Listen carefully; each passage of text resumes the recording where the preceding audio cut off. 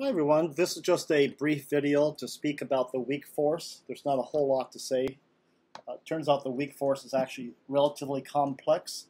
The only thing I really want to say about it is that the weak force is typically related to radioactivity, and that's where particles break down. And so in the proton, uh, proton chain, what we saw is this process here in the first thermonuclear reaction. What we had was a proton combining with a proton through a, the nuclear reaction 1. We get a particle came, that came out of that, which was a proton and neutron. Now, since there's only one proton in that particle, we know it must be hydrogen. That's the type but the name of this is deuterium. Just the name of an isotope of hydrogen. And then we also had another particle come out of this in order to balance the mass and to balance the charge. And this was a particle had a plus charge because we need to have two plus. There's only one plus there that's plus, but we also needed to balance the mass. We couldn't emit another proton because we start out with three times the, uh, excuse me, two times the mass of a proton right here. If that was a proton, we'd end up with three times the mass. That's impossible.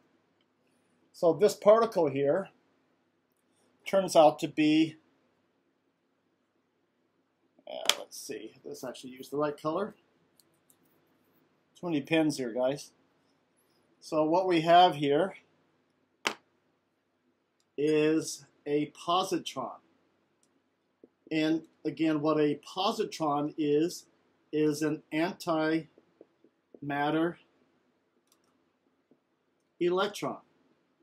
And so an antimatter electron has the mass of an electron. I could ask that of you.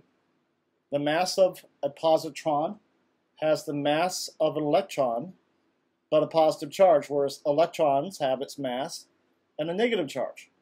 So this is an antimatter electron. And when we looked at this, what we realized that some of the properties before was not completely balanced in the reaction. So this meant that a new particle had to come out. And as an interesting particle, the ghost particle. That's the Greek letter nu. We want to say nu. You're so cute. And so this guy is the neutrino. And remember, how many types of neutrinos are there? There's three types total. And so the weak force is related to a bunch of these reactions. So the weak force is related to how the one proton breaks down into a neutron. So remember that this here is a neutron plus a positron plus the neutrino.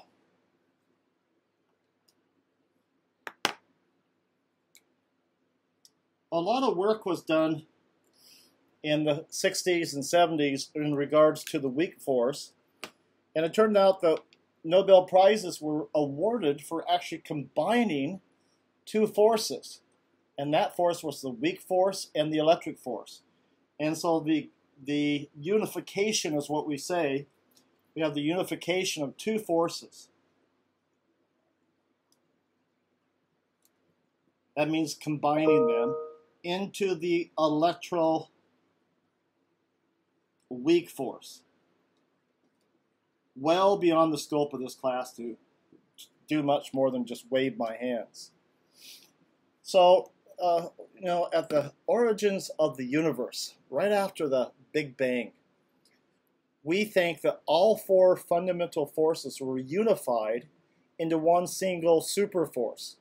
So one of the big goals that uh, physicists have been working on for a long time even from Einstein over, was trying to combine all the four fundamental forces into one unified force.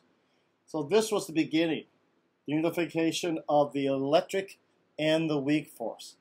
Very high level theory. And that's basically all I'm going to say to you regarding this particular force. So I just uh, wanted to make sure we had this. So guys, talk with you soon. Bye-bye.